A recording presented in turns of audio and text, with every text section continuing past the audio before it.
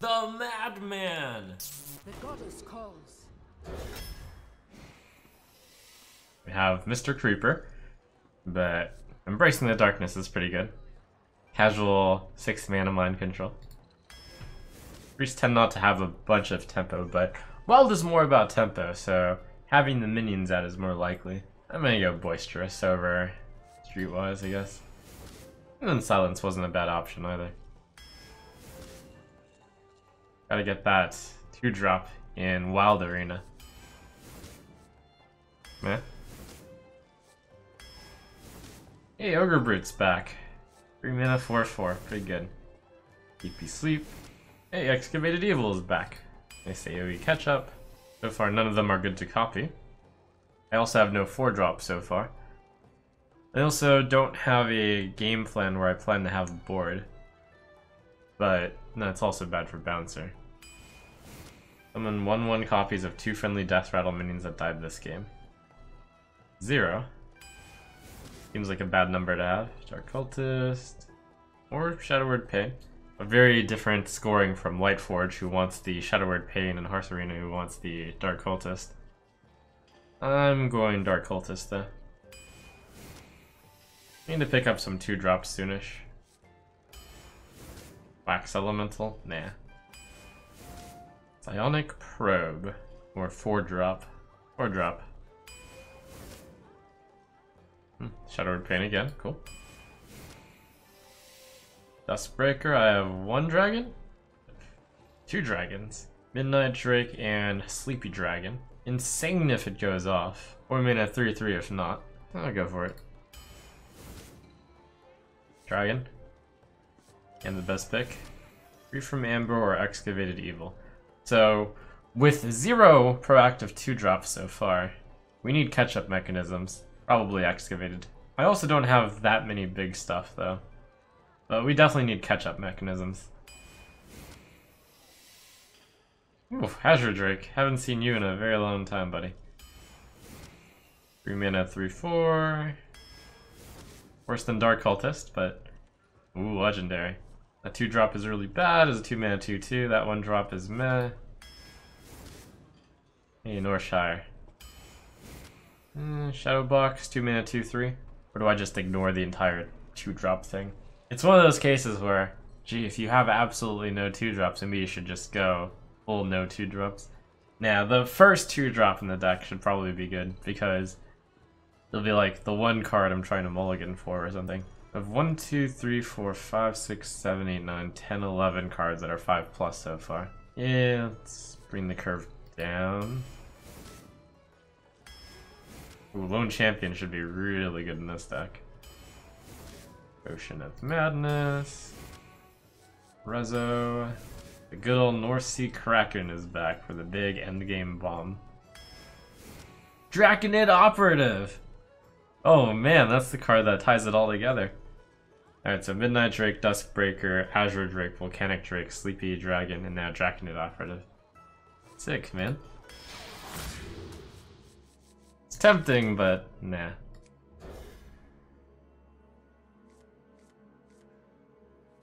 Alright, Lone Champion.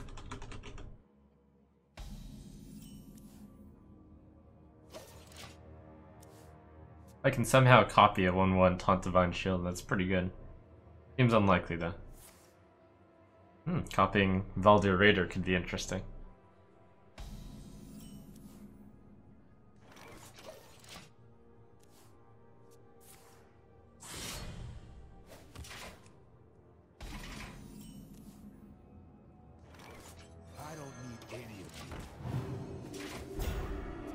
It'll be an Argent Protector lone champion.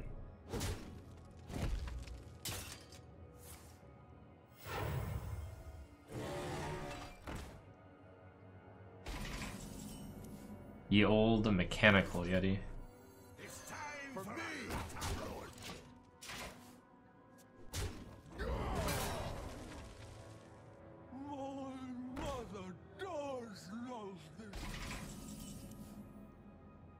Ooh, spare parts for all. Reversing switch. I'm pretty sure we're just going for strength here. Something like this.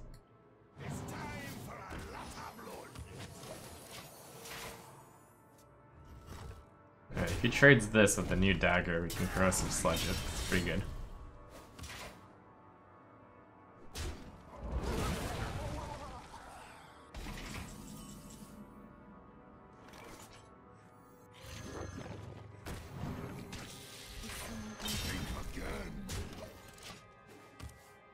I have enough late game in my hands, I don't need to save the cleric for the healing.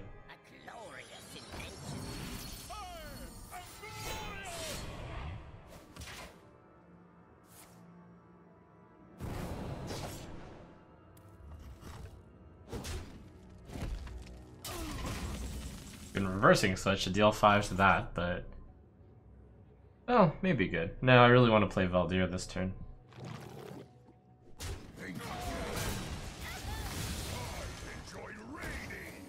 Raiding. Ah, if only I could enjoy the good old days of World of Warcraft vanilla raiding when I was first starting out. But you only get one time at that. Raiding is a lot of fun. But raiding the same thing over and over again, not so fun.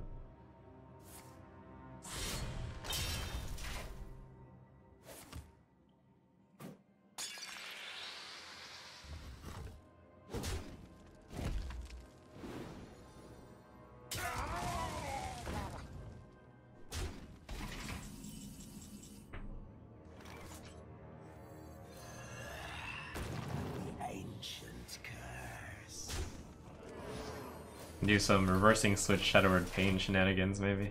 I can use a Pain on a 2-1.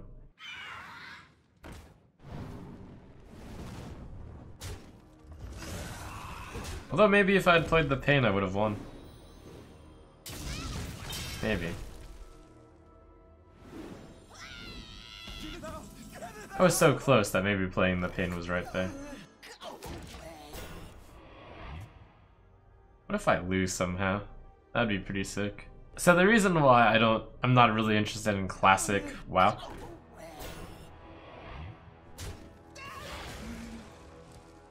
It's because the nostalgia isn't enough. It's, oh wow, look at this. Uh, well, I mean, that is a combo. I can kill off the 412 with the reversing switch North Sea Kraken. That's really good.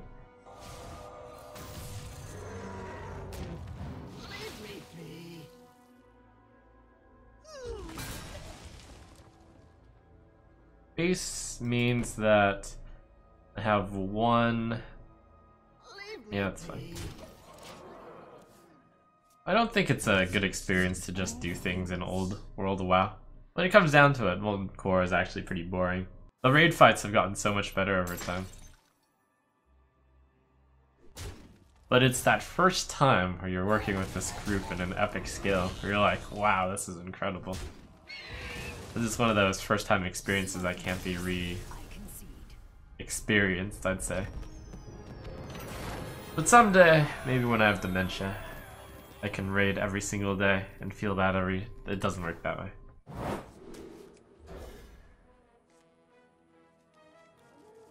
So the only bad news about playing the cleric is coin 3-2. Or not even coin 3-2, just 3-2 on 2 would be enough. I'm gonna pass.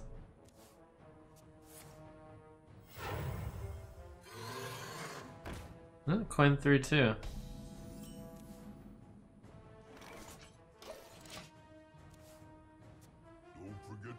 The other small thing is that I have a Midnight Drake, which would get plus one less. If I wasn't willing to play Northshire Cleric on turn one, I probably should have mulliganed her. Got the double shred. Ooh, Duskbreaker. Interesting, interesting. I play that, that's a 6-4. 6-4 just get Bear Sharked. Play the Duskbreaker, you can be so much better. But it's really good now already.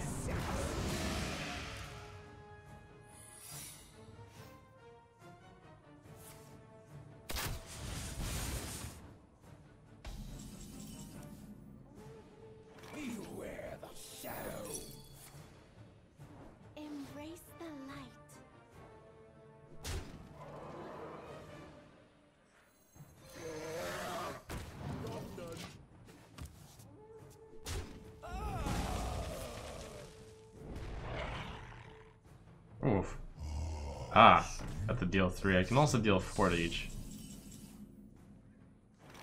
So do I want to clear everything? I think this is best. Take the damage to draw one more card.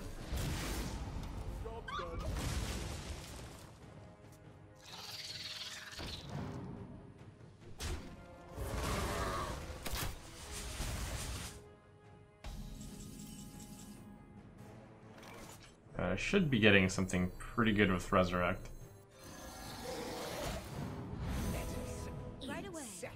Right. I mean, 2 mana, 3 3. It was that or Azure Drake or Dark Cultist, so I got the worst one.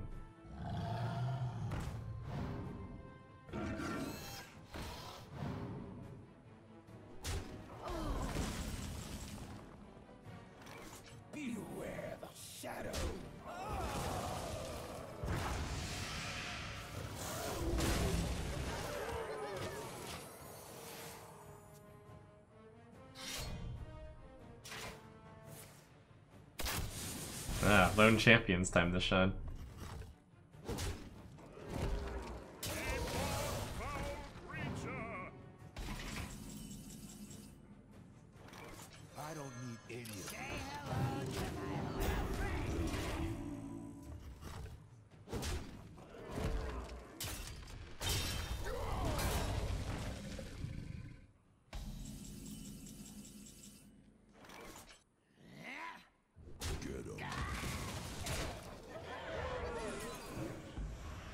That thing a hug. An embrace, if you will.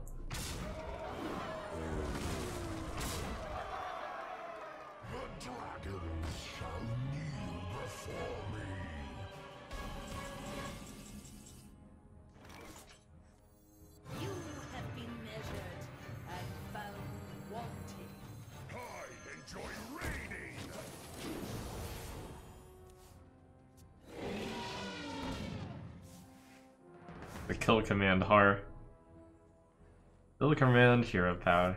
Never lucky. No way.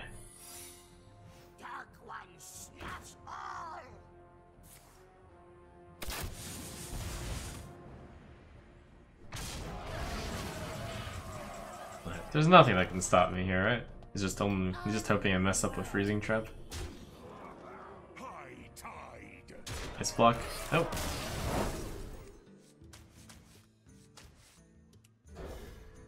I should have kept Fiola there. Oops, I'm gonna coin out the lone champion. That was a bad mulligan decision.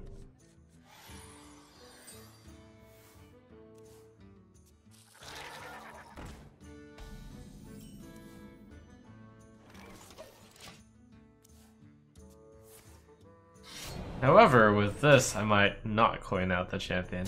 Just then champion, since he's he's not going to be playing stuff for a while. I could speed it up with coin champion into brute, but we want this game to go long. The longer I go without fighting the hive queen, probably the better. That's gonna be pretty decent. Champion into midnight trick.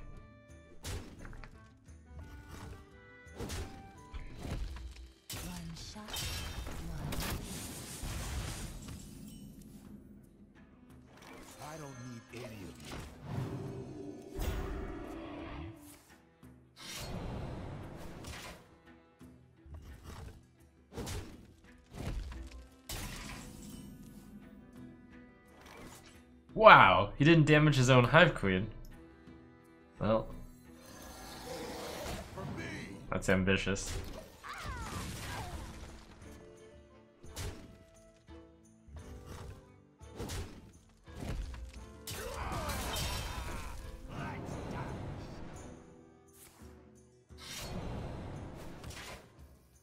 So far, he's paid four mana of tax.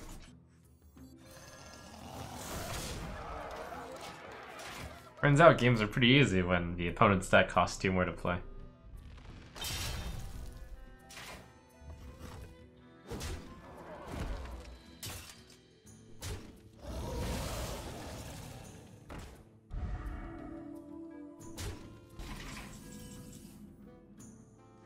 Okay, Actually got some amount of spells here. Who's coin Bane? Pretty good. 6 6. Worm? Pretty good.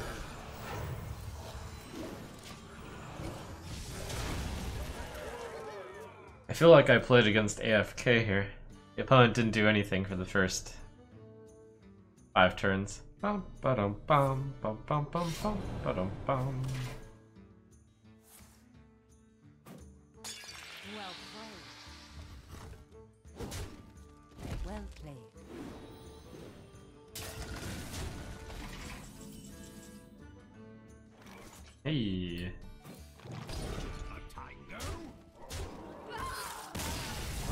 I drew my Shadow Boxer, the only proactive 2 drop I can play, but I also drew Lone Champion. So it gets complicated. I probably play the Shadow Boxer on 2 and expect it to get traded and I lead it into Lone Champion.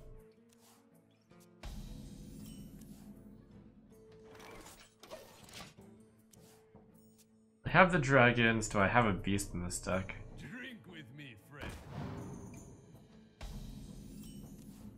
Do I use a pain or do I use a shadow boxer? Try to find a better target with pain. If the trade somehow doesn't go through lone champion matches up well. Could have also gone coin lone champion, but then the follow-up isn't very good. I don't need any of you. Any tips for non-PC fun board game you can play with friends? I think some really good starters include, but are not limited to. Well, here's just a few ones that I think are really good for getting started. Settlers of Catan, Splendor, Century Spice Road, Dominion, Codenames, and The Resistance. I'll throw that one in there too.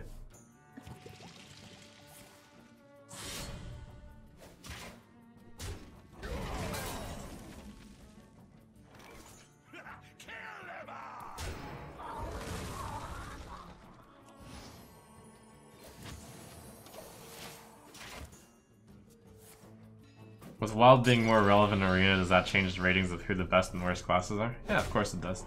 I can't claim to have played this enough times to know what is better and what's worse, but there are websites out there that report on this stuff. And I myself simply just try to vary it up each time. If you name any board game that's remotely popular, I have either heard of it or played it. Probably should have killed my little friend. Well, we'll see. Oh, Ticket to Ride is a really good starter, for sure.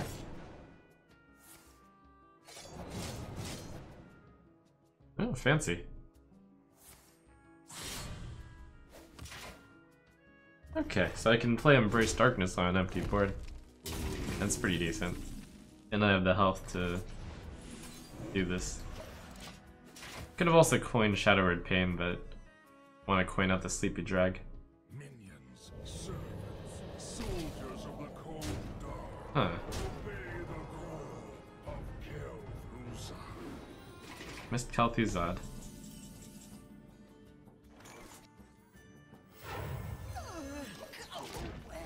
Oh crap, created by Mimic Pod.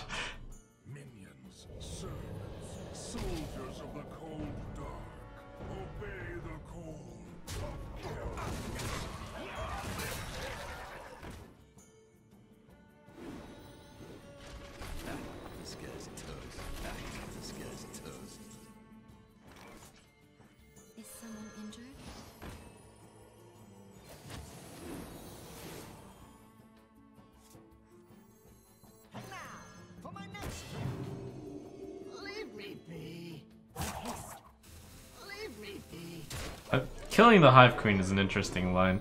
I'm not going to though.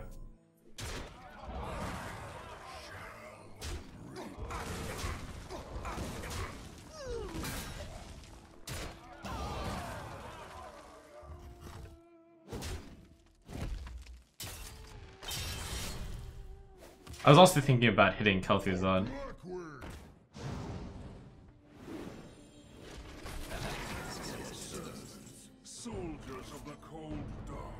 One damage short, again. No, I had the mimic pod on? That's sad. Yeah, he could have also just traded both uh, Hive Queens.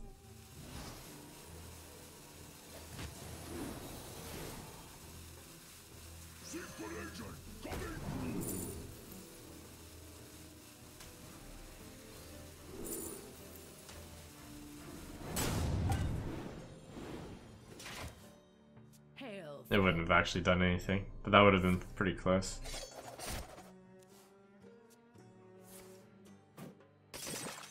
Well played.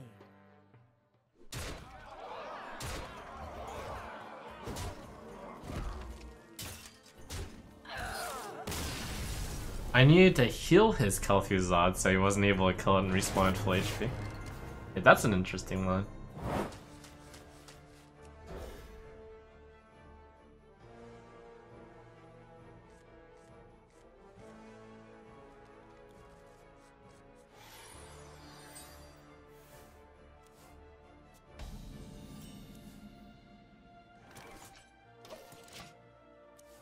Two drop.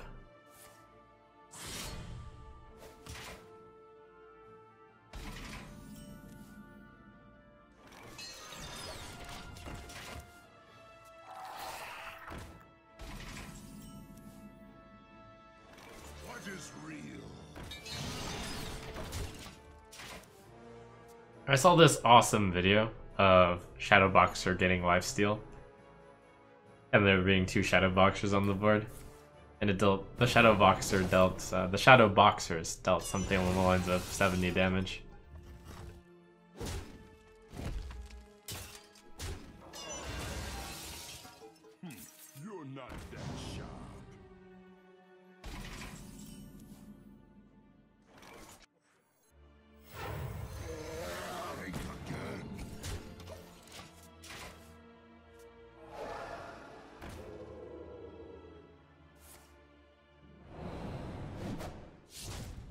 Use a catch-up mechanism.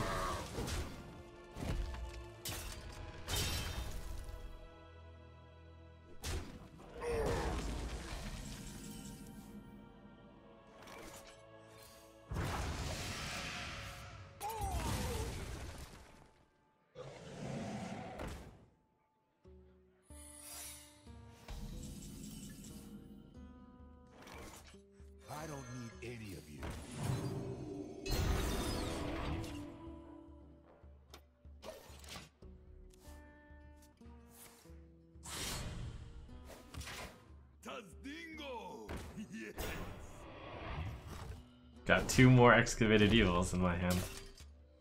Eventually. Hey.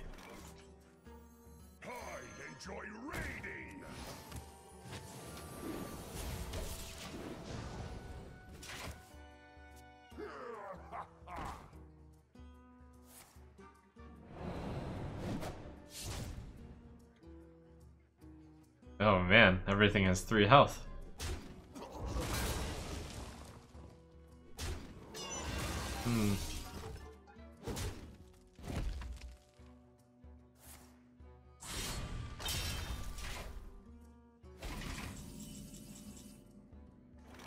Okay, I can do this coin magician. Lose that on the operative, but okay.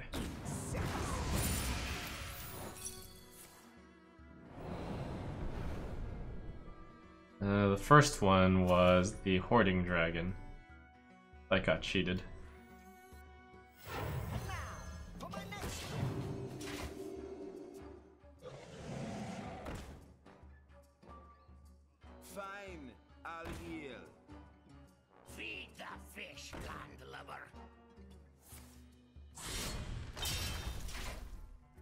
Excavated again.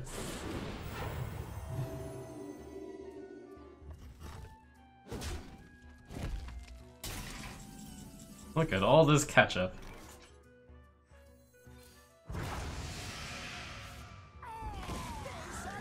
Man, this guy. He's probably not a happy camper.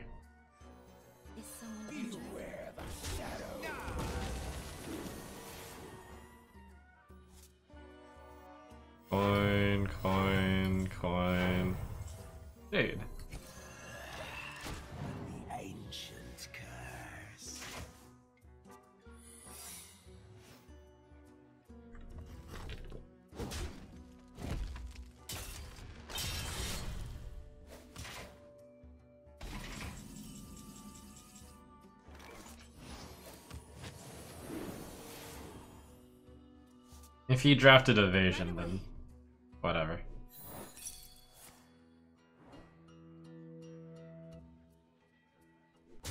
But it was almost always gonna be that one. Circulation coming through. Beware the shadow. Instead of healing, I probably should have just played the 9 drop. Whichever though.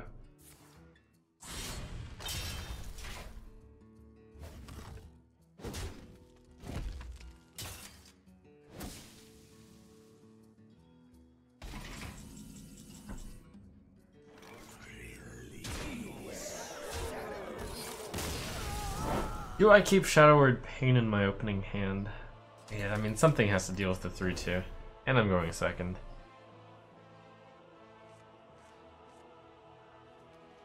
Oh, Duskbreaker. Sweet.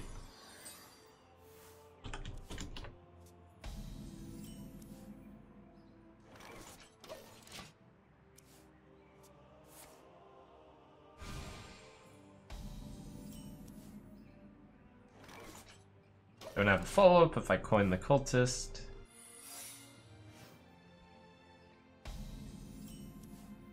I'd hate to play cultist in the mirror entity. It's a completely random one that he played. The damned stand ready. Probably not counter spell.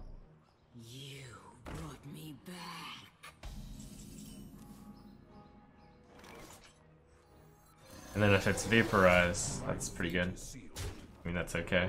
Hmm. Something to do with spells? Or is it ice block? Ice block on turn 3 is pretty unlikely.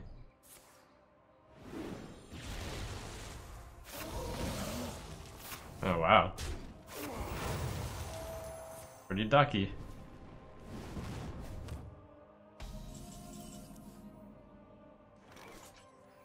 Yeah, I have full dragon priest here. I have a lot of catch up, so all good. Hey, perfect Shadow Word Pain target. Then Draconid Operative also. Oh crap, what if it's Spellbender? If it's Counterspell, you have to do this first. It's totally gonna be Spellbender. That could be Duplicate.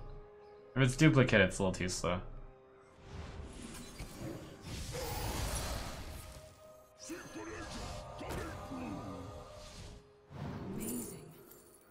Have a Shadow Box here as my only mech.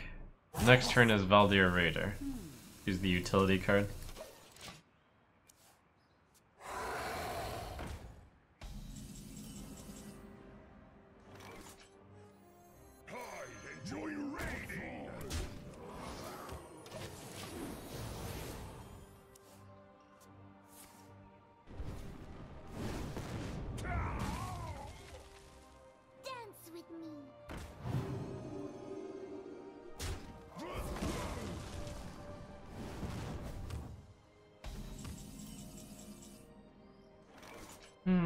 Yeah, let's do this.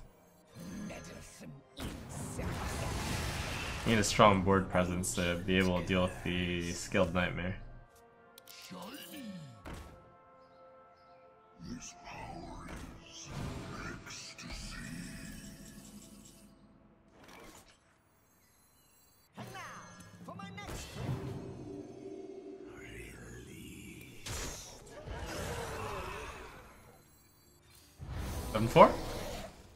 One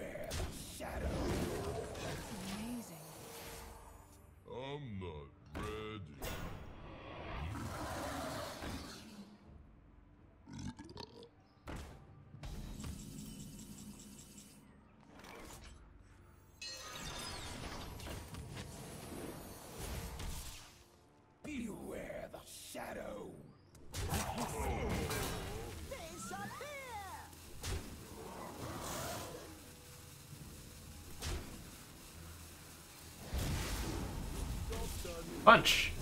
Punch! Come on! Oh. Okay, one more. Nice.